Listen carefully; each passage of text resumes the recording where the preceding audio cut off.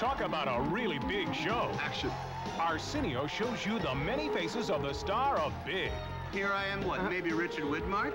Over here, Richard Nixon? Tom Hanks. and how's this for Big? Seven-footer Vlade Divac of the LA Lakers. The word is out. You're tuning in by the millions now. It's the perfect way to kick off another really big week on the next Arsenio Hall Show. Monday at 1045 on Channel 20.